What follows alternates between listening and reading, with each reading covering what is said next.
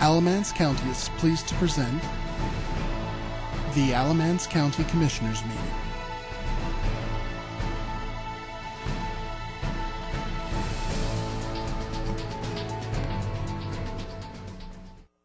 Tim Sutton, if he will lead us in prayer and also the Pledge of Allegiance. If we can take a moment, please. My Heavenly Father, thank you for another day. Help us all realize as we sit here this morning that none of us know the famine, the disease, the unrest that our world is seemingly seeing increases in every day. Help us pray to our God that these situations soften up, improve, and hopefully basically go away. Be with us this morning as we deliberate county's business. Help us do the right thing. Help us realize that sometimes the process is more important than the results or the topic. Be with our military worldwide as they protect us from those that would do us harm. Amen. Amen. I pledge allegiance to the flag of the United States of America and to the republic for which it stands, one nation, under God, indivisible, with liberty and justice for all. Thank you, Tim. Good morning. We'll call the uh, August 5th meeting of the Alamance County Board of Commissioners to order at this time. Welcome to all of you. Glad to see a lot of faces out there. We will begin our meeting with the public comment portion of the um, agenda, and we have one. Mr. Tony Cox would like to address the board. Tony, good morning, sir.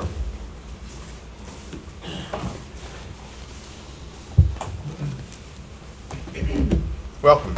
Thank you. Last week, I noticed in the paper, there was some more information that come out of the tax department down the Hall River on their tax bills. Uh, The tax rate was a little higher than what they put out. And it seems like if you look back at the history of the tax department, there's been a history of misinformation going out there, going on out there. I remember back in 2007, 2006, um, I had called the tax administrator or the tax department down there. I bought business license in Burlington, Graham, privilege license, Mebane, Gibsonville. And it seemed like they went through the tax departments there. And I had asked about some salvage cars out on Mine Creek Road and was told county's not zoned, beer, wine, and fortune telling. There's the letter. Miss Brenda Murphy. To whom this may concern, Alamance County Tax Collector. The Alamance County Tax Department only has license for beer, wine, and fortune telling. We don't carry any other license at the present time. Thanks, Brenda Murphy, Tax Collector Supervisor. It's not dated.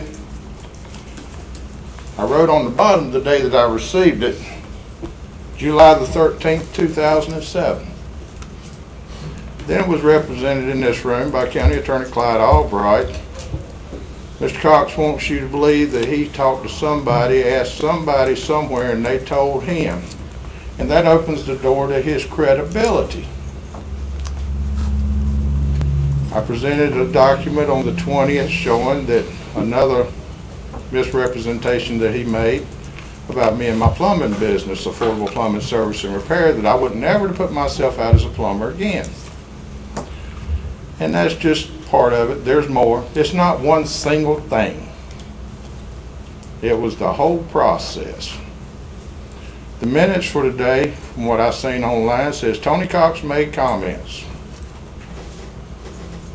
May the 20th, I presented a document, evidence showing a false statement. Here's another document, another false statement. There's more to come because I only get three minutes at a time. Sure would like to fix this thing, would love to go back to work. I want to do better. Um, Sheriff, this is a federal grand jury indictment. Secret grand jury indictment. Letter from the lawyer, David A. Friedman, Dear Tony, we have mailed you copies of everything we have in our possession related to your trial and appeal. Appeal to the Fourth Circuit Court uh, in Richmond, Virginia. We did not receive copies of all the government's exhibits at trial. Welcome, Sheriff. Thank you, Tony. Again, as I've mentioned to you in the past, it- it probably would be good for you to meet with appropriate staff to kind of go through your issues. Um, At this time, I'd like to ask if there are any commissioner responses to public comments or any other item. Hearing none, please review the agenda. We will be um, looking for a motion to approve the agenda, which will include the items on the consent agenda. Are there any items on the consent agenda that any commissioner would like to have removed from consent? Hearing none. Mr. Honeycutt, are there any changes to the agenda from what we have before us? No, sir. With no changes and no changes on the consent agenda, entertain a motion to approve the agenda as presented, including the consent agenda items. So moved. Tim, is there a second? Second. Thank you, David. All in favor, say aye. Aye. Any opposed? The agenda, including the consent agenda items, are approved.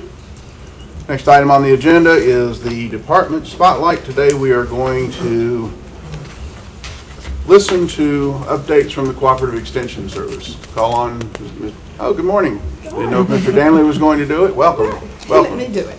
And I know some of you, but I don't know all of you. I'm Dot Humble.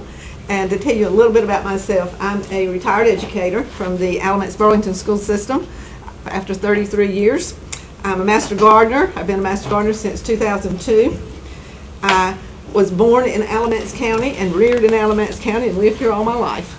So uh, we live on a farm. We raise beef cattle. And I'd like to talk to you a little bit today about cooperative extension. Our mission, the North Carolina Cooperative Extension Service partners with communities to deliver education and technology that enrich the lives, the land, and the economy of North Carolinians.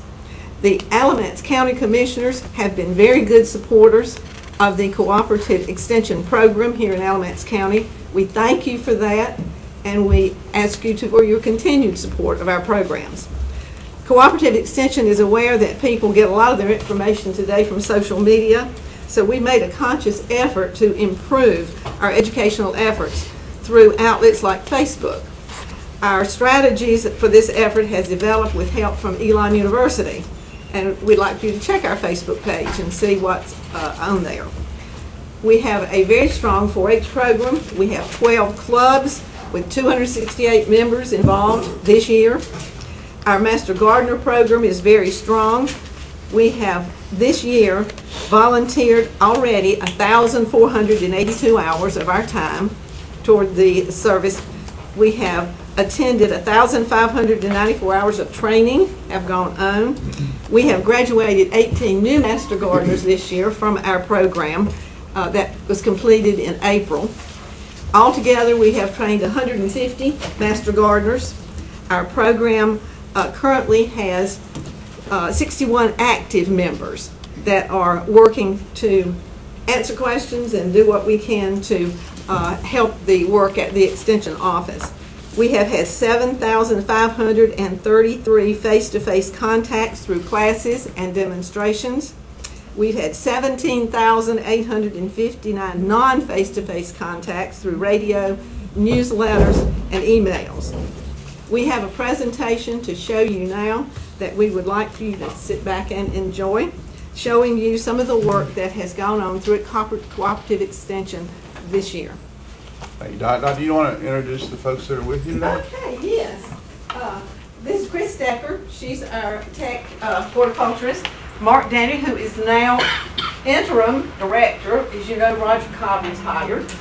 Uh, This is our young lady from 4-H that has been before you before and spoken to you, and I think you all know her. And these are my grandsons. Babysitting today. Well, Welcome to all of you. Big boy sitting, I should say. Got those boys, your grandson's got a lot, big shoes to fill. And they're working at it too. Good. Very good students. Good.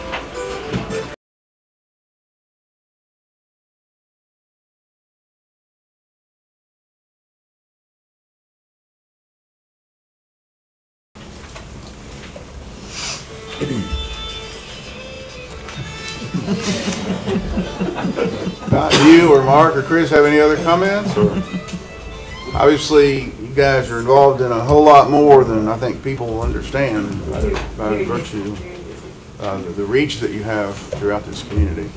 That's wonderful. I I did see, it it went by quickly, but I did see a save the date for something in September. What What is that? Plant sale. Okay, at, at the Ag, Ag Center.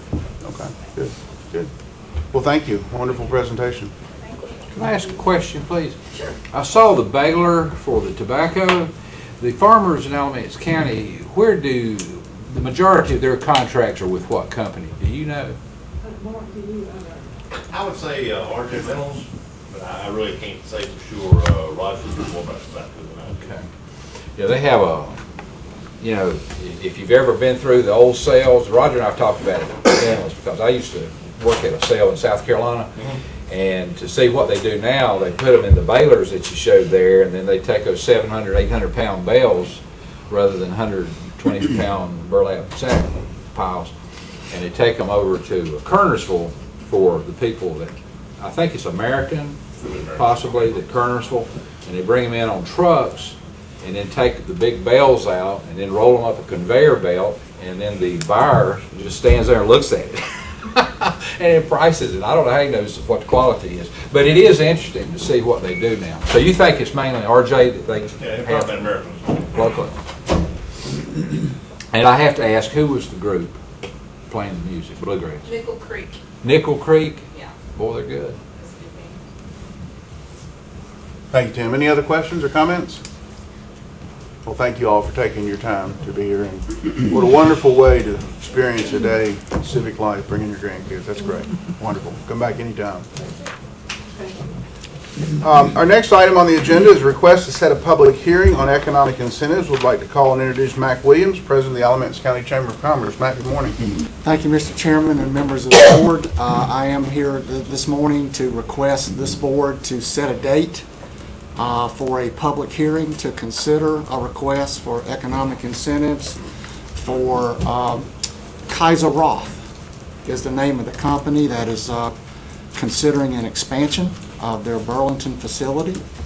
Uh, There has been some reporting uh, about the number of jobs and the capital investment, which are correct. I think it's 50 new jobs and $18 million in capital investment. Uh, I'd like to request, uh, the c- company representatives can be here on August the 19th, I believe, is the next date for this board. Uh, And I'd like to request that that be the date for the uh, public hearing to consider that request. I'll make that motion. Second. Can I Thank you, Bill, and yes, we'll have a discussion. We have a motion from Bill, second from David. Now, open for discussion? Right.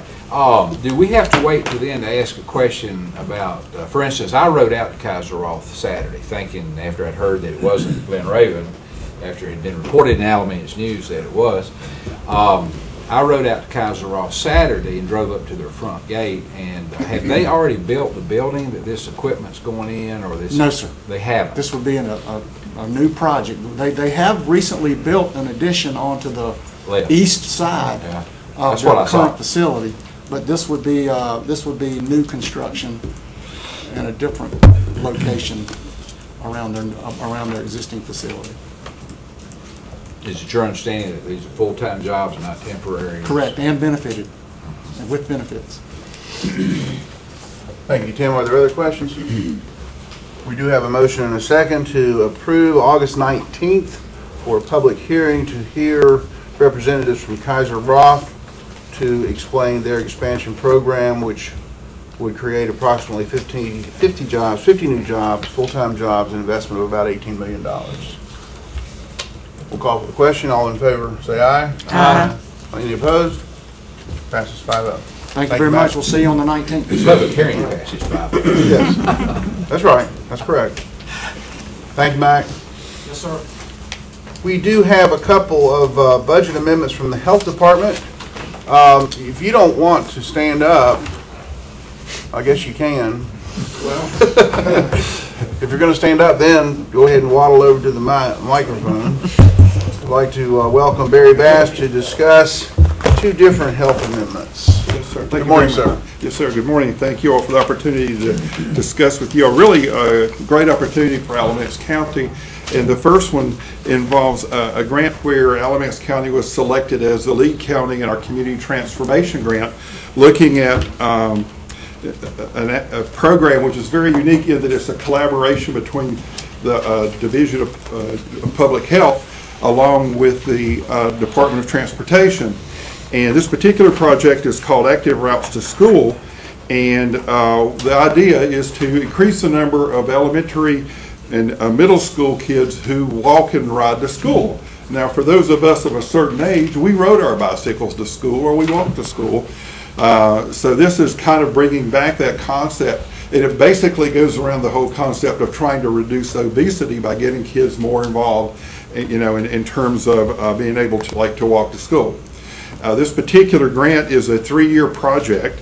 Uh, the initial uh, project is we would receive $79,014 for the planning year and then uh, about 134,000 for the two remaining years. This is a three-year grant and um, we would add this in for Alamance County, would, this person would be a, a county employee. For example, we've got a Guilford County employee who is housed uh, with this project who's over the tobacco portion. We also have one of the contract employees who works on the healthy living and nutrition part. So again, this is a collaborative uh, in our particular region.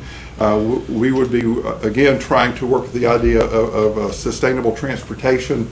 Uh, again, with the whole concept of, you know, again, kids being able to go to school, ride to school, ride their bicycles and such. So I'd be happy to answer any questions or what you may have. And, and we would certainly make it clear to whomever we would hire in this position that it, that it's contingent upon the grant funding. It is for three years, going through, uh, 2016. Kids not allowed to ride their bikes to school. ma'am. Well, yes, sir, they are. And this is trying to be very uh, deliberate in terms of setting up to make it easier uh, to work on uh, such policies as, um, let's see, in the grant, we would be looking at uh, like trying to facilitate, uh, working with like law enforcement, reduce speed limits to make sure that the kids will be safe around schools and and such. Uh, To- me, it seems like that's the most ridiculous thing for the government to be funding. You know, it doesn't take a genius to realize if, you know, if you, if you want to get your children in- into better conditioning, that you allow them to walk to school or walk with them to school. But, uh, for the government to fund something like this, to me, is ridiculous. That's all I heard. I tell you what, it's, it's, you know, when I lived in Alabama, I, I rode my bike to Gerard Junior High School, eighth grade, and it was probably, and that's a major city. I mean, not major, but it's big. And they had bicycle racks out in between the buildings. And I rode my bike, usually bounced basketball as I drove. As I rode. And it, it was miles, miles. We lived in Dothan and All uphill, right? It was. Both ways. There was equal, equal, In the snow, but it is, it is on black and white channels. They're obese because they're, they're uh, eating, a lot of them, way too much. You know, everything you go to, you know, you, you ought to have the right to buy what you want, but, you know, everything is supersized. All the hamburgers, all the drinks. Uh, It's, it, it, it- it's, it's a bad situation. Yeah, I, I, I can't support spending government money to encourage riding a bicycle to school. I'm sorry. The school should be doing this. I can't, I can't support it either. This is expanding government, and uh, I'm sorry, I'm totally opposed to expanding government. I want to constrict government or con- cut it down. I don't want to keep hiring. This is a eighty thousand dollar job? Good grief. I'll make the motion that we uh, refuse to fund this, accept it. We have a motion and a second. What is the total amount of the grant, Barry? Well, for this year, uh, seventy-nine thousand fourteen dollars. And then after that it would be somewhere around hundred and thirty-four thousand dollars. And, and again, uh, if Alamance County chooses not to accept it, it will go to one of the other nine counties in our region. Well, let them have it. Okay, We have a motion and a second to decline the acceptance of this grant. All in favor of that motion, say aye. Aye. Any opposed? I'll say no. No? So the motion passes three to two, um, to decline that particular grant. You have another one, Barry? You know, I don't know if whether to go on or not. It's for five hundred dollars for the Safe Kids International Walk to, uh, to School Day. And this is, comes through our Safe Kids, uh, project. It's an international day to encourage kids to walk to school. This is on October the 9th. And one of the community partners, uh, is FedEx and it would, uh, be focusing on one school, uh, to try to again encourage, uh, kids to be walking to school and such. So, Would you have to hire a special person? for no, this? no, this is money just to support the activity and activities that would go along uh, with that for, uh, you know. I'll make a motion, we, we accept that. Do you know which, I'm sorry, if there's a motion, is there a second? I want to ask a question before I, accept. would that include any monies for crossing guards or anything like that? Um, Basically, at this point, it, it it would just be uh, like to materials uh, for like safety information, media materials and things that would, you know, kind of raise an awareness about, about walking to school. I'll second that. Okay, We do have a motion second now. Is there any questions or discussion? What, do you know which school it is? They're going to meet tomorrow and make that decision. Okay. Is that just one school though? Yes, ma'am, for right now, it is, is uh, one school that I was wondering how the county schools was gonna walk to school. you. Well, no, well, this is just for one school, and My daddy again, did in Altima Hall. Well, I did too. Not really. Okay, so the school has not been named. no, sir, but it will be named tomorrow. We can get that information to you as soon as we receive it. Okay, we do have a motion and second to accept $500 grant for this particular opportunity. Call for the question. All in favor, say aye. Aye. Any opposed? Passes five to Thanks, sir, appreciate it. Thank you, Barry. Hope you feel better and up and around, and like Bill said, don't jump out any more planes. Or moving vehicle. Um, The next item is also a budget amendment. This board voted three to two at our last meeting to put a cap on longevity pay for um, ev- everyone covered under that in Alamance County employee base, as with any change to um, funding that that affects our budget, this, this budget that was just passed um, right before the fiscal year end, we do need a budget amendment to uh, basically confirm or ratify the actions taken by this board at the last meeting. Call on uh, Craig Honeycutt to uh, make this presentation or any comments.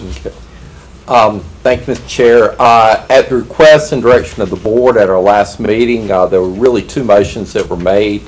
Uh, One was to look at capping longevity at 500,000, and the other was to look at a change in our personnel policy that would uh, eliminate uh, longevity for new hires. So in your agenda packet is is a memo to do that.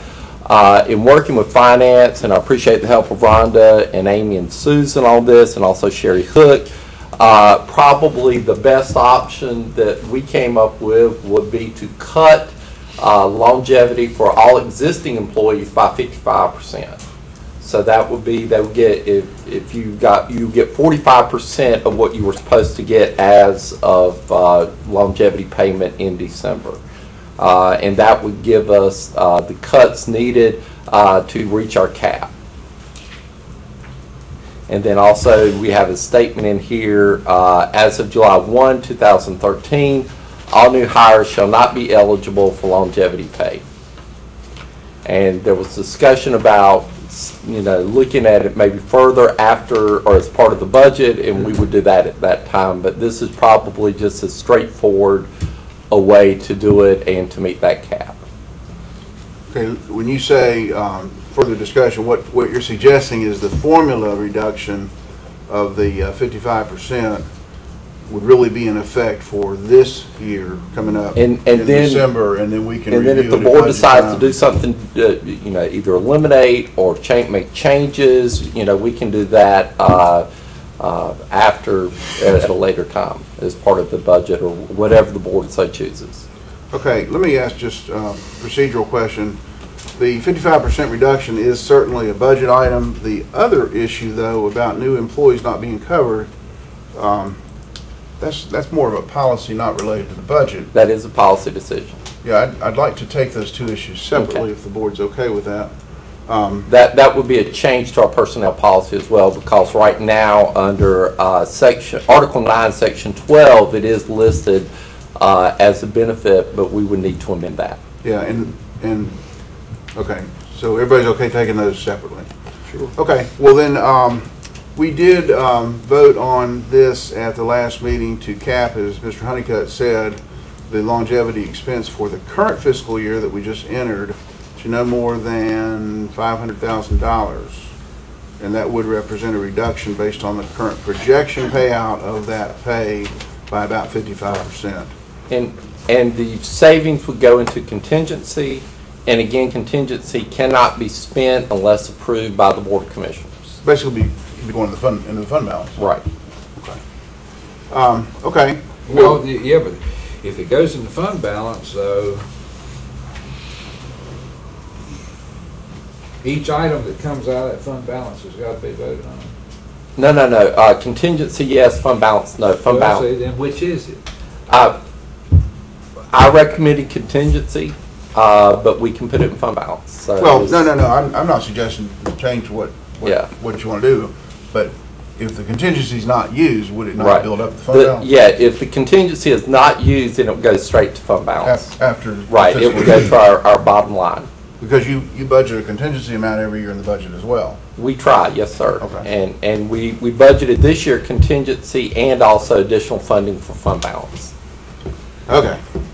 So what we would like to do is entertain a motion to ratify this board's vote from the last meeting to cap longevity at five hundred thousand for the fiscal year end that will end June thirtieth, two thousand fourteen, but be paid, would have been paid this December. So is there a motion to ratify and confirm that through a budget amendment? So moved. Is there a second? Second. Okay, We have a motion, a second. Is there any discussion? Yes. Um, I've received an awful lot of comments about this item over the last three weeks or whatever it's been, uh, from department heads and employees. And it's not so much that we are cutting it, but that we are cutting it at this time when a lot of the employees use the um, longevity pay the first of December, pay taxes and Christmas and things like that, and uh, they're not going to be able to have it now. And I don't know whether the board wants to consider uh, this year uh, waiving the cut until next year, then they'll have a, a year to plan for it. They haven't had a year, much time to plan for the, um, for the cut, and they're not knocking the cut. They understand we can't afford this any, anymore, but it's just this particular year. Uh, They didn't know that it was coming, and uh, one of those comments is, it seems like it has taken away the, um, the pay raise that they received. So uh, I'm all in favor of doing away with it. I have no problem with that. I have some problems with the fact that the employees seem that uh, it's a little too much all of a sudden. Just Wanted to make that comment if anybody. I would like to make one too. I mean, I think we're taking a lot away from our employees, and it's gonna hurt us in the long run, because we're losing people now left and right, because they hadn't had a raise in, what, five years? And, you know, I think that we need to look at this again, because we're targeting the employees really We bad. can- We can When we correct take that problem. longevity away. We can, if we don't pay longevity, we can give raises. But I definitely don't Well- think people should be uh, given a longevity pay. Did you for- not get it at Normal? Heck, no. Well, I was did lucky to in hold Orange my job County. From year to year, much less. Well, I get got it in longevity. Orange County, and most Well, of the Laura, I counties don't know do that. anybody It's private gets business, it's not Right, government it's tax not dollars. government, but most of the, the governments do give this. I mean, it's taken away, and, and the county employees are moving to other places. By the droves, I think Susan lost eighteen people last month or so. So, Well, if sure not, I guarantee you with every one we lose, we'll have a hundred people waiting in line to take that job. yeah, but you gotta train them then. So, that's the bad part. You gotta train people. Where's the survey that we asked for? I don't have it with me. Have you done it? I have not done it because the direction was, you know, from the last meeting to look at the cap and then look Well, at part the of it check. too was we were gonna do a survey. Um, I don't know that you have to, why would you have to give anybody a year's notice if we're gonna do away with your bonus? When I was at the bank and lost my bonus, you know, I thought, well, God, it was good while I had it. Bank says profits aren't as good as they ought to be. And you just said, maybe next year. They didn't owe me that bonus.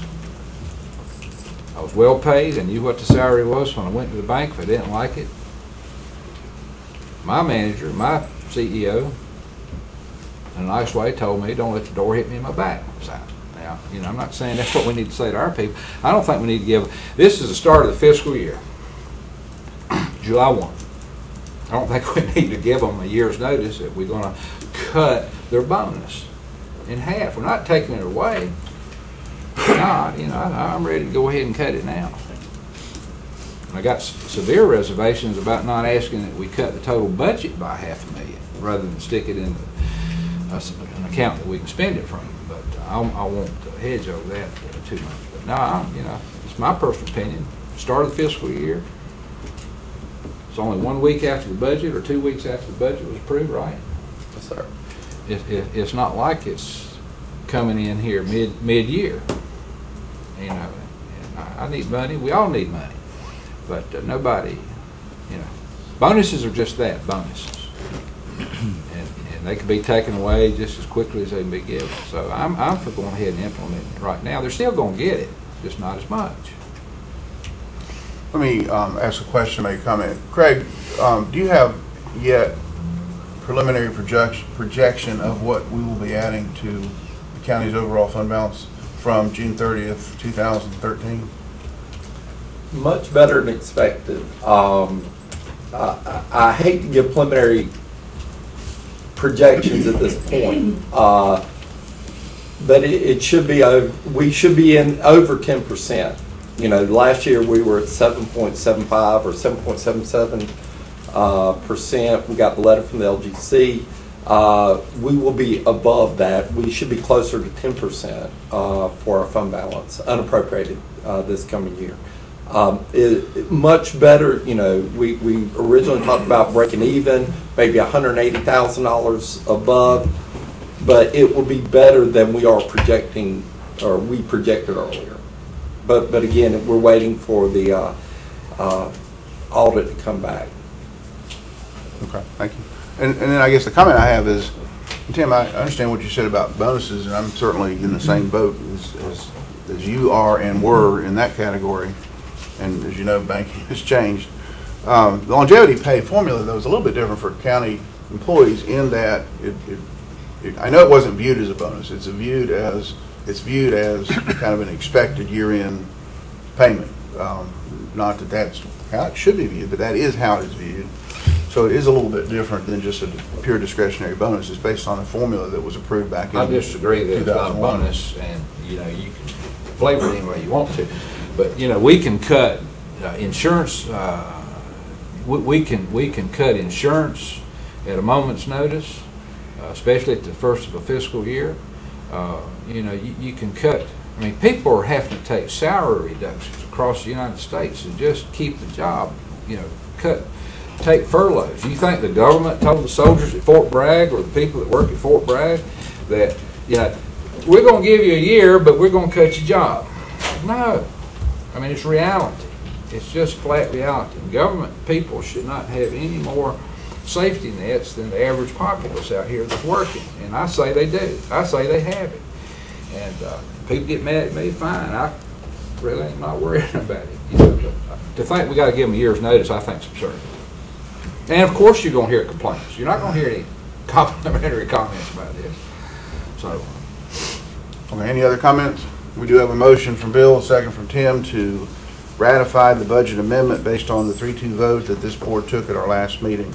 We'll call for the question. All in favor to approve the budget amendment, which will then reduce the uh, formula for the longevity pay, say aye. Aye. All those opposed? No. No. And vote is three to two in favor.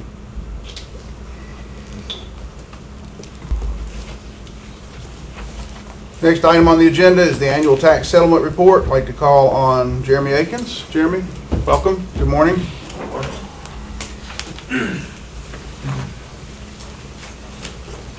Commissioners, thank you for having me this morning to present the annual settlement. I should have a slide set up. I think the clicker is down here. Here it is. All right.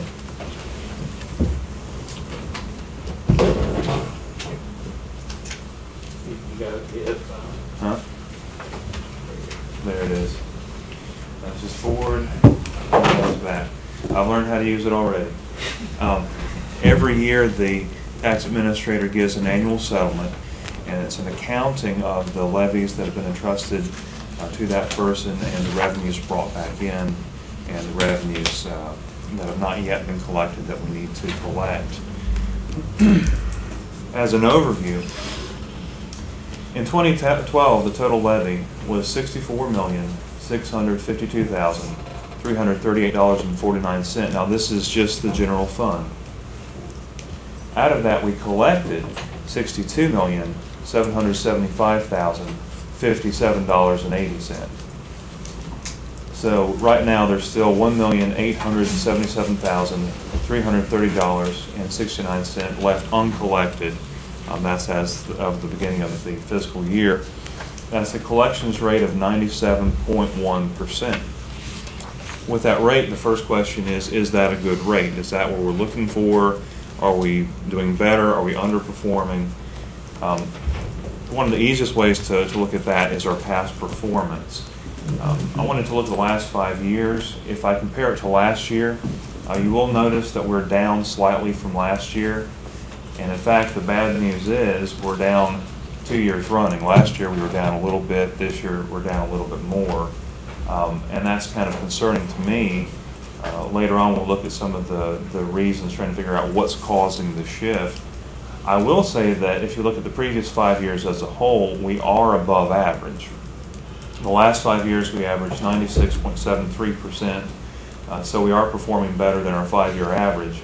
Uh, But I don't like seeing that slide, and and we'll look at uh, some of what's happening there. Another thing you can do to check the collections rate to see if it's a reasonable rate is to compare to similar counties. Now, every year, the Department of Revenue puts out a report of every county in North Carolina, and they compare population statistics, uh, total valuation statistics, and the collections rate to determine what's, what's normal uh, based on the size of the county. Additionally, I looked at the census information. Uh, I wanted to know household income, median household income, because if someone is, if a county is much more affluent, that's a different collection scenario. Um, If they're a poorer county, that's a different collection scenario. I also wanted to weed out mountain counties and coastal counties, because I don't think they're quite as- as similar to ours. The ones that I found that were statistically the most similar were Pitt County, Davidson County, Johnston County, Rowan County, and Randolph County. As you can see, comparing the average of these five counties to Alamance, we're very close on population, very close on valuation, very close on median household income. Statistically, these are, are similar counties. The average of those counties, and this is from last year, that's the most recent data the state had available for me, uh, is 97.06%, which is right at our 97.1. So from both the five-year history of Alamance and looking at similar counties, I would say that we have a, a normal uh, collections rate. 97.1 is, is very typical. What that doesn't address is why is it sliding, why is it down? Um, breaking out the, the type of collections, if we look at real property and non-registered motor vehicles, so uh, including mobile homes, boats, planes, that sort of thing, uh, business, personal property. This year, the collections rate for that was 98.07%. Last year, it was a little bit better, but statistically, this is dead even. And the year before that, it was a little bit lower. So in those two years that we've seen a slide, we've seen no change as involves real property, business personal property, individual personal property. And over the last five years, we're actually slightly up versus the average. What you will notice is the registered motor vehicles. Now, this year, our collections rate for motor vehicles was 85.99%. And there's your slide, and there's your slide. What we notice is the last two years, what's pulling that rate down is that motor vehicles are more and more difficult for us to collect. uh, compared to the five-year average, we are below the five-year average uh, because that slide has taken effect. Now, exactly what's involved in that, why is it that we're having more difficulty with our motor vehicles? Um, You know, you can look at economic factors, and you can look at, um, uh, internally, we, we have had a staff downsizing, and I will say we went from, from nine to seven. That's gonna have some contribution to those numbers. Um, one of my collections staff said, you know, we're in a situation with the vehicles that sometimes you, you can't get blood out of a turnip. If somebody is, is not in a position to pay, they're not in a position to pay. And of course, we use vehicle levy, we use debt set off, we use tag blocks, we do everything we can with garnishments and bank attachments. But we, we've just seen that slide. This will be changing in the future. This is the last year that we'll have collections of motor vehicles. Um, Next year, it will be the DMV's responsibility and not ours. We will have a report for the two months that remained in, in our care, but the remainder of the months will be in the DMV's care. The Advantage of that program is that we bill in arrears, so someone's already driving before the bill comes. Uh, DMV will be billing in advance, which is if the bill is not paid, you're stopped uh, in your tracks. So in theory, you'd have a 100% collections rate through DMV, unless, of course, the fees that they would charge. Uh, I've done some preliminary analysis on that. Right now, we're running a break even, so I don't see really a- an advantage or disadvantage to our bottom line by doing this. Uh, What I do see is that if Senate Bill 305 goes through and they increase their rate they're charging us, it would be a, a bottom line loss to our budget. Uh, We can try to use cost control measures, possibly, you know, if we have a staff of, of seven right now, once this goes through, we won't need seven, we might be able to downsize a little bit, we might be able to retask and try to be more effective in our other areas to, to compensate for that. Hopefully 305 will not go through. Jeremy, let me, let me ask you, so. Sure. In layman's terms, let's say it's eighty-five percent collection rate. Are you Mhm. saying that the state's going to charge us fifteen percent to do this? Uh, well, they're, what they're gonna do is they're gonna charge for each account, um, that they collect. Right. Um, so that's gonna equal out, yeah, it's gonna, it's gonna bounce back. They're gonna have higher total revenues and that they're gonna get a hundred percent collection rate, but then they're gonna charge us back for it. And we're gonna get cost savings because we don't have to, to mail out the bills. Um, So we're still gonna get the money, just they're gonna Oh, take the sure, sure. And in fact, if you're interested, I prepared a report, uh, just for my information at the time, I'd be glad to provide it. And it lists out the cost reductions plus the fees with a projected collections rate. And it, it's, it's very close, it's a a virtual break even. Um, But again, if, if 305 goes through and they increase their fees, then we're no longer at break even, we're losing money. Um, Who's doing the evaluation on the vehicles after the change? well, we'll continue to value the vehicles. Uh, The state's implemented a new system that we'll be using. Our staff has already been trained on using their system. It's web-based, so we just log in from our computer terminals. Uh, We wouldn't be collecting, but we would be valuing.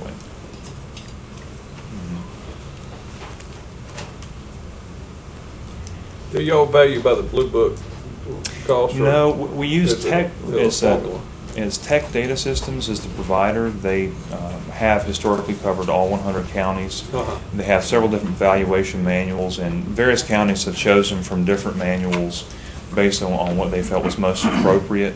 With the state um, taking that over, they have mandated the use of a s- standard tech uh, manual. So it's the same uh, valuation supplier, Okay. but every county is going to use the exact same rate. So wherever you, you move from, you have the same valuation. What I see is we're gonna have a lot of people riding around with unregistered vehicles. Well, and, and that's the other side of it. Is if, if everybody followed the law, we wouldn't have any problems. I would like to report on the total amount collected. And there's something I want to, to note here. Back in 2009, it was 61 million roughly. And we saw an increase for 10 of about 175,000. We saw an increase for 11 of about 250,000. And really, I was expecting anywhere between 350 and 400,000, uh, projecting for an increase this year. You'll note it's a 1.2 million increase. Now, when I first saw the number, I thought that I'd added something incorrectly. That, that surprised me. Um, What the bulk of that comes from is the change in the discount rate. So instead of 2%, going down to a half percent. That percent and a half, because payments are so heavy in the, the month of August, actually accounts for a solid eight hundred thousand of that. Uh, and then you have your, uh, expected increase on top of it. So we definitely have brought in more revenue this year because of that change. Uh, That, that's been a good thing as far as your bottom line. There was a trade-off, which is that fewer people wanted to take advantage of, of the uh, half percent discount than wanted to take advantage of the two percent discount. So we did have a total collections percentage fall off at the end of August. Fewer people took us up on it. Starting at uh, August 31st, at close of business, our collections rate was running behind uh, 4.39%. And by the close of the year, we caught up a little bit. We were still behind 2.96%. So although the, the rate is down versus the last two years, I feel pretty good that we started out 2.96% behind and ended up just 0.11% behind. I think we, we played a lot of catch-up this year. Uh, There's nothing we can do to enforce the bills through the end of the, the fiscal year until they're delinquent. It's voluntary. You just determine who wants to pay. Um, At that point, we actually begin enforcement, so that's the, the work we put in to try to catch it up. We didn't quite do it, but I think that uh, considering our starting point, we've done very well this year. And I do want to report uh, on the previous levy years, levy years 2003 through 2011. uh, We still have about 1.6 billion outstanding. If you compare that to the back years, that's a pretty normal amount of money for us to have outstanding. And we will be pursuing that with every uh, avenue we have. Uh, We're retooling some of our collections procedures and trying to to come back at that with as much efficiency and effectiveness as possible. Are there any questions or? I read in the uh, paper in the, in the last week or so, that Guilford County, uh, their rate was ninety-eight point six percent collections. That's, that's very sharp. And my, my suggestion is that we send somebody to Guilford County and find out what they're doing, we're not doing. Well, now, I will say we formed a partnership with Durham County in the past month, month and a half, as we've been reworking our collections division. Uh, The advantage with Durham County is that their software is the same as our software, so we can use their processes straight out of the box. What they're doing, we can do. But I, I would not be opposed to working with uh, Ben Chavis over in Guilford County. And uh, the software may be different, but the techniques generally are going to be the same. What's Durham's collection rate? Hmm? I didn't pull their collection rate this year. Historically, they're known as one of the stronger collections counties, and so I feel good about uh, working with Kim Simpson, but have no trouble working with, with any of our neighbors to uh, kind of whip our, our collections into shape, find out where we are not being efficient and become efficient. Chavis does their invocations, so evidently that helps. Yeah. That's the truth. I see him a lot in Greensboro. Jeremy, we, um, we have, um, a- an order of tax collection here. I I assume that means the commissioners need to Mm-hmm. uh, grant to you to collect and um, be authorized to complete the process that you presented for the current fiscal That's year. correct. Is that correct? Yes. Okay. Yes, sir. Uh, I like to say, one year, he wasn't here, but one year, and it's been about three or four years ago, they got the tax warrants, we went out and located the cars, seized the cars, and you'd be surprised how many people cough up the taxes at that point in time. And, uh, the collection rate, I mean, we were way down, it went way up, and we don't mind doing that, it's gonna be extra work on my people, but, uh, you know, that's a possibility. Well, I don't think we can out- opt out of the state's program, you know. It's mandatory. We can still collect the back years, so any uh, registered motor vehicle taxes that are outstanding, we can still use all of our uh, remedies. That would be the time to take advantage of the sheriff, Mhm. if they got three or four years back.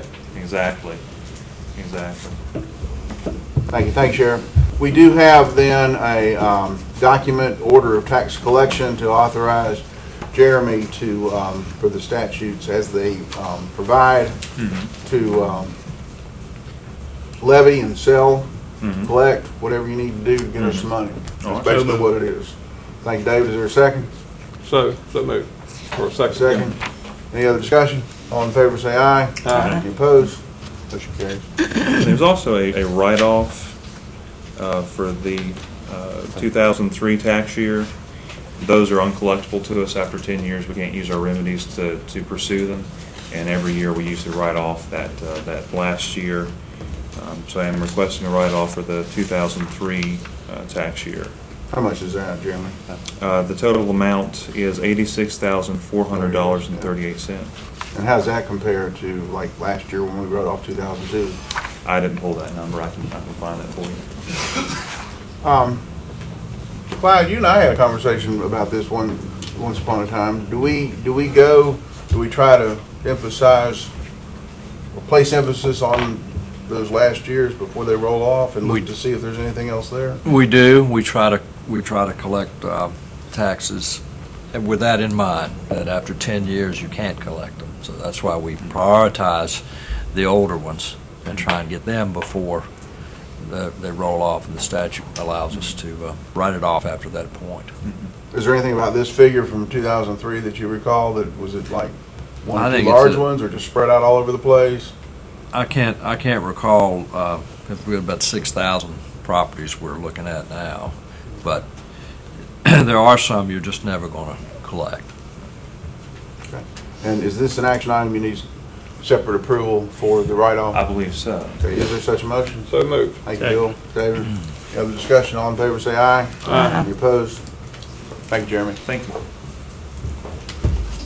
Next item, bid recommendation for construction of the recycling processing facility. I'd like to say good morning and welcome to Greg Thomas. Greg, hello. Good morning. Good morning, Commissioners. Thank you, Mr. Chairman, for the time that you've allowed me. Um, During the January 21st, 2013 meeting, the Alamance County Board of Commissioners landfill staff presented a proposal for a recycling facility. To briefly recap, the 8,000 square foot pre-engineered metal building will serve as a recycling processing facility at the landfill, enabling the excuse me, enabling the processing, separation, and baling of recycled materials, including cardboard, newspaper, aluminum cans, and plastics. More than 22,600 tons of these recyclables have been generated over the past six years, resulting in sales of $900,000. This facility will allow us to better manage the storage, marketing, and competitive price selling of these bale commodities in bulk, as opposed to current smaller piecemeal loads of lesser volumes. The materials once baled into large cubes could reach weights of up to 2,000 pounds. These larger loads will also serve to reduce transportation costs, and the storage of baled bulk recyclables will make us less vulnerable to market swings, and the facility will offer the flexibility and the potential in the future to work more closely with our cities and towns relative to managing Alamance County's recyclables on a broader scale. The facility will also favorably position us now and in the coming decade to be better prepared to manage shifts and various dynamics in the very fluid recycling industry. This facility will allow us to shore up our tire management by processing the more than 150,000 scrap tires through the building while incorporating a loading dock and decreasing some manual labor man-hours. Our burgeoning electronic e-waste program could be consolidated into this facility as well. Based upon landfill staff's request, the Board of Commissioners gave its approval to proceed with the preliminary stage of this project. We are fortunate to have the professional services of Alley Williams, Carmen, and King to plan, design, and oversee the construction of this building. An invitation to bid on the construction phase was advertised, and sealed bids were opened July 18th. A bid tabulation sheet is attached. In consultation with the county purchasing and Alley Williams, Carmen, and King, we are recommending that the contract be awarded to Central Builders of Mebane for their lowest bid of $584,000. $313,450 remain in an unspent landfill construction bond fund from 2002. These monies, in addition to $270,550 in appropriated retained earnings, would be budgeted to meet this contractual expense. Thank you for your time, consideration, and support of the landfill and recycling services. At this time, Mr. Chairman, I also want to, uh, we have two guests here this evening, I mean, this morning. Um, I have Jeff Johnson with um, Alley Williams, Carmen and King, and Steve Carroll with Central Builders. Um, They, um, uh, Jeff has been very instrumental in this process, and um, so we're just, we're glad to have them as part of that. And at this point, I'll answer questions from the board. How much space will that take up? As far as the tonnage? Land, no, land. To Um, it's, it's about, uh, an acre. Uh, Just- just under an Just acre. under an acre. One thing I do want to add, um, to the board's, uh, deliberation process. I mentioned in the first section here the $900,000 that we have received from revenue and recycling. Um, The rest of the story is in the 22,600 tons that we have diverted from our landfill. Um, Last week, I sent the board some information relative to our landfill and our compaction. We're at the highest rate we've ever been as relative to our compaction. And this 22,600 tons equates to $858,000 in in, in addition to the $900,000. So if you combine the two, it's $1,758,771. In other words, if these, if these tonnages had gone into our landfill, it would have filled our landfill up sooner, quicker. Um, and our last construction, landfill construction was in 2005, a $3.7 million construction. And if I were to go back over the history of the Austin Quarter landfill, um, a chronological series of events, uh, in 1994, we began placement of trash in that facility, 1994, a 16-acre sale. In 2000, we were doing another expansion, a 2.7 million expansion. So from 94 to 2000 was six years. 2000 to 2005, we did our latest expansion, which was um, 13 acres, 3.7 million dollars. Well, since 2005, it's been an eight-year cycle, and we have not done an expansion. What we've done is we've moved from a uh, posture of always planning for an expansion to conservation and preservation of what we have. And what that equates to is, and I'll say arbitrarily, and this is close, and Mrs. Weaver can verify this, our annual revenue is about $3.2 million.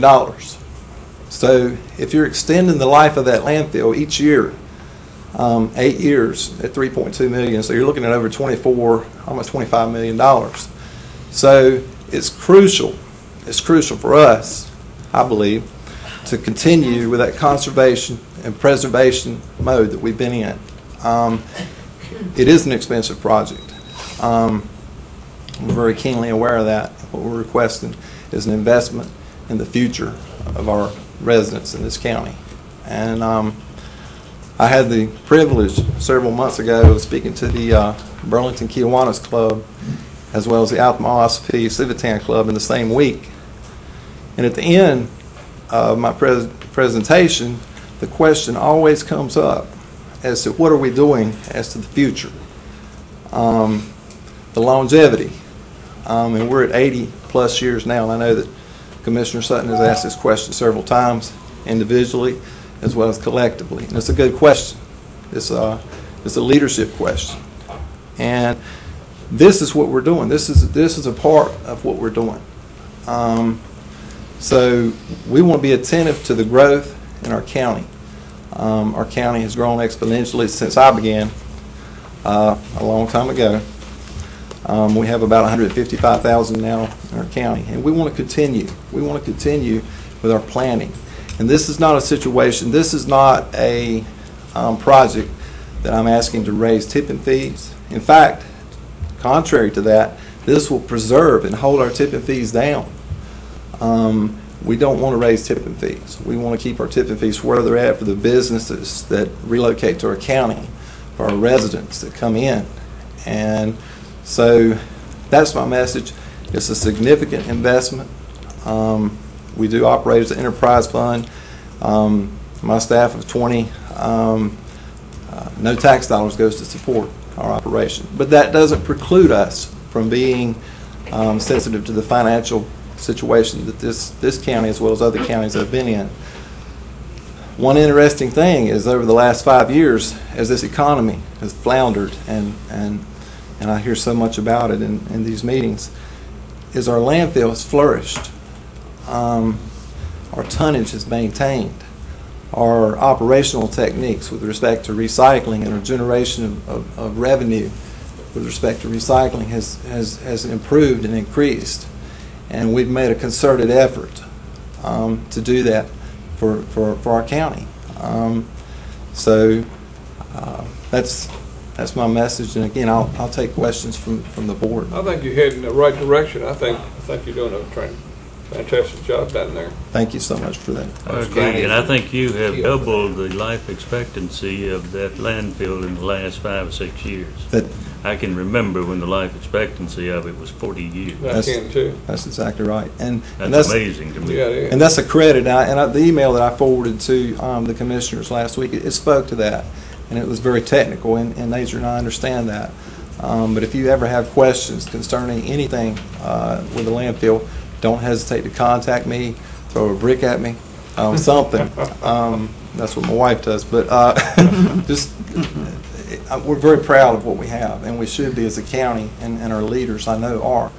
Um, So, that's my We also appreciate you taking your time to speak to these uh, civic groups around the county.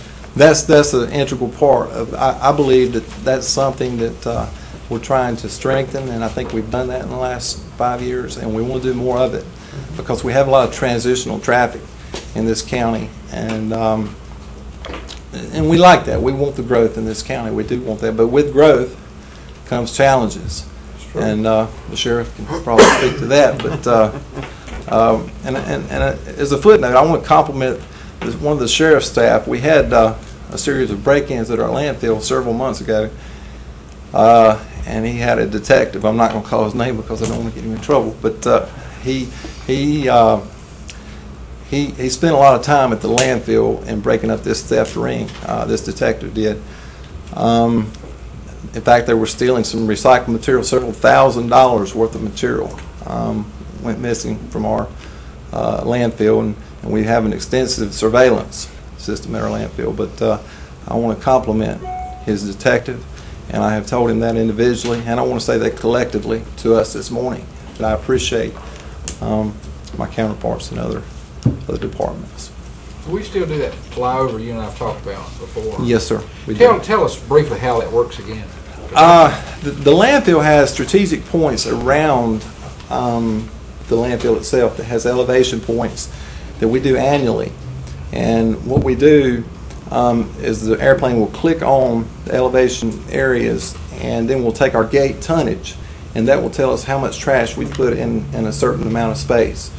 Um, it tells us about our compaction. It tells us about our, our um, soil usage.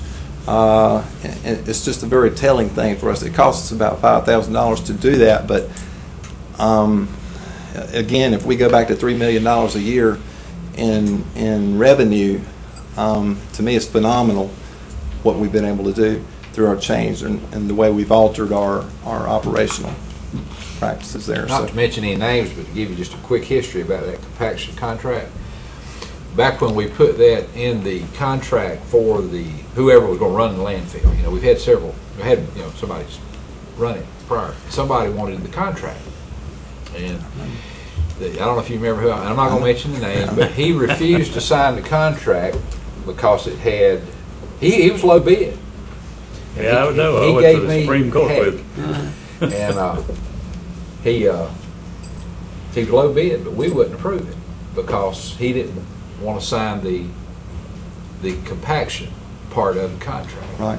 And, uh, long story short, he came to my office where I was at one time and I, in all honesty, I had to ask him to leave because I had about all I could take from him. And I told him, I said, look, I said, you, we're gonna have to put up a bond. How much was it, ten thousand or something like that? Yeah, it was. And I told him, I said, if you'd sign that contract with that compaction in there, I'd be willing to take you ten thousand dollars if you didn't perform. Right, right, But I said, you're not willing to sign a contract that's got what we think is proper. right. And never heard any more about it. And, and, and, and that compaction is so crucial. Mm-hmm. Right now, our space is worth thirty-one dollars and fifty-four cents per cubic yard. And, and back in that day, we had contractors that was only worth about twenty-one dollars a cubic yard. So that, that speaks, and I always, I always pose this question to, um, groups that I speak to. Um, and it's a trick question, but I always, I always ask, can anybody, uh, tell me what the most valuable fiscal asset that the county owns would be? And of course, people say, uh, you know, our courthouse and maybe our recreation parks. But the reality is, it's the landfill. Sure is. The landfill with hundreds of millions of dollars worth of airspace. It's, it's our most valuable resource. but it's more valuable to us than it would be a private company because it's longevity. It- It's, it's just that. So, um, You can find land to build a school and, and an individual building, but you can't find land, ask Guilford, ask Chapel Hill, you can't find land to build a landfill. Exactly. And Randolph County is going through a tremendous debacle now with this regional landfill, and it'll be a tremendous upfront expense. We've already bore that cost with our landfill. So, you know, there may be some uneasiness. We may wonder, well, are we going to lose trash? Are we going, you know, and, and that's potential for that. But we've already bore the upfront cost. The $10 million initially that was invested in our landfill was, was huge in, in the early 90s. Um, so, and, and it's, it's, it's just more expensive now. So, um, and I'll go back to this, and I've said this many times at this podium. Our leaders have led with respect to solid waste in this county. And um, people may get tired of hearing me say that. I say it often, but and I say it at the groups when I go out. But uh, I have a, a deep appreciation for where we're at, and um, that's the facts. Thank you, Greg. Greg, what did you all, when you were doing the budget, what did you expect the uh, budget to cost to be? I had projected three to four hundred thousand dollars on my end, but we, uh, in working with Alley Williams, Carmen and King, we, uh, I, didn't know the, the, the concrete, the, the, that, that's what's really factored into this. We're putting four docks in, uh, five, six docks. Uh, and so I didn't, I- the concrete was the unknown for me. And, um, I wish I had an architectural background, but I didn't. Um, so, but one, one thing that's interesting too, um, it, you- you're exactly right, it's more than, than what I had projected originally, but also during the process, I found out with, um, Mrs. Weaver and, uh, Susan Roberts that we had some unspent money in our, in a construction bond fund from two thousand and two that we're actually paying a monthly fee to maintain about forty dollars a month to maintain that three hundred and, three hundred and, uh, uh, thirteen thousand dollars. So, um, I didn't know that going into this project. This project would stand on its own if, if you were to take that away. If you look at the revenue, the nine hundred thousand dollars, and the tonnage, this project would stand on its own. Um, and I'm, I'm a very frugal person. I- Whenever I look at a project, I want to know the cost benefit analysis. That's what I want to know. Um, and, and the reality is, this project has already been provided for. But I believe, and my pledge to this group, is that we will, we will, multiple times, we will get this revenue back multiple times over the life of this. So, um, that commits me to the longer term, but we will, we will do that. Greg is requesting approval to award the bid to Central Builders of Mebane, presented the low bid of $584,000. Is there a motion? So moved. Second. Thank you, Bill. David, any other discussion or question? All in favor, say aye. Aye. Opposed? Thank you, Greg. Thank you, Good Commissioner. presentation. Next item on the agenda is a request for expenditures from the Capital Building Repair Fund from Brian Haygood. Brian, good morning, sir. Good morning, Commissioners. Um, Here this morning to request that you approve expending $75,000 from the county's capital buildings capital reserve fund. Uh, We currently have $173,823.60 in this fund. Uh, These monies are designated specifically to do capital repairs uh, of this type of these, uh, these projects that are listed here. If you approve the expenditure of these funds, uh, Our remaining balance will be $98,823.60 left in the fund. Uh, The projects we're recommending include various roof repairs to buildings around the county. These include, we hope to be able to stretch this $30,000 to do some work at our two EMS satellites, Rudd uh, Rudd Street and uh, Boone Station, as well as uh, we hope to be able to touch some of the roofs at uh, the prison annex, possibly the evidence uh, locker over near maintenance, and maybe maintenance too, if we can stretch the money that far. Uh, We're also pro- uh, projecting to do work, the civil courtroom. This was one of the original facility improvement plan projects. It was not done. We've put off for the past two years. We'd like to be able to get that work done. Um, Also, over at Pine Street, uh, we desperately need to replace siding on that building. Um, It's, uh, looks like a residence, a home, and it needs to, as water's coming into the building, we need to be able to replace the siding. And then on the CSI building, uh, right over here, uh, adjacent to the annex, uh, the HVAC system failed, and uh, we need to get it pla- replaced. The air conditioning is working, it's about a 20, 25-year-old unit, but the heat part has failed, so we would like to replace it all. Um, These all fall within the uh, uh, the guidelines of being able to use these funds. Uh, These projects do, so if you have any questions, I'll be happy to try to answer them. Sheriff, you used that house on Pine Street, wasn't it originally? CSI building, talking about? or- Yeah. Yeah, we- no, we're using, them. Uh, yes, sir, we're using that building. Okay. I mean, that was one of the houses that we bought, right? Yes, sir. Yeah, that's what I thought. But that's not what he's talking about. Yes, sir. That That is is what it. you're talking about? Yes, sir. Okay, okay. You know? I thought that's what it was for. And you're talking about the CSI building too, were you not? Yes, that's correct. The CSI building's right down here, uh, down toward the criminal court building. That's the one we're going to replace the HVAC unit with. Uh, Pine Street building, the sheriff's using, we're going to redo the siding on the building. What else is on the horizon the next two years that needs to be done? Uh, Probably the number one priority is the uh, HVAC system in this building. Uh, it's- Works good.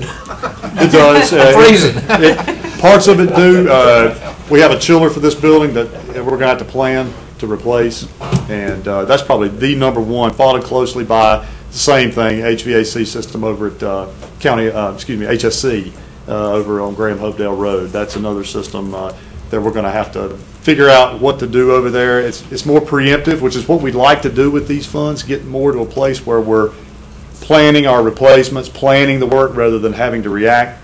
You know, one of the projects we did with these monies uh, last year was making repair work to the criminal courtrooms HVAC system.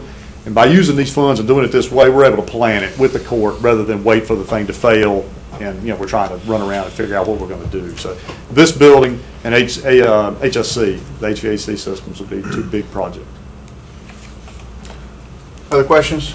Request today is to transfer approximately seventy-five thousand dollars from the capital building repair fund for the stated expenditures outlined by Brian. Is there a motion? So moved. Thank you, Bill. Is there a second? Thank you, David. Any other questions? All in favor, say aye. Aye. Any opposed? Thank you, Brian. Thank you.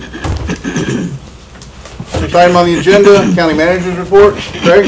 Uh, do have a couple of things. First, I do want to thank uh, Cooperative Extension for their presentation today, and thanks for Mark for ste- stepping into the interim role. Uh, One of the things we have not done is to recognize Roger Cobb and for his service, and we're going to try to do that uh, upcoming. So we appreciate Roger and, and his service and commitment to Alamance County. So I I apologize for not recognizing him before uh, his actual retirement date, but we will try to do that.